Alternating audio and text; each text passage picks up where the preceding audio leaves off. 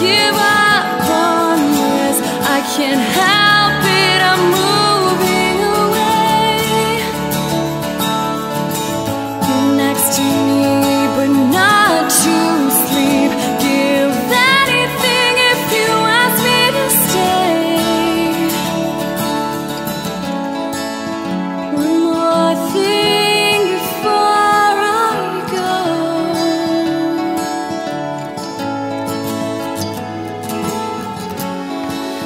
something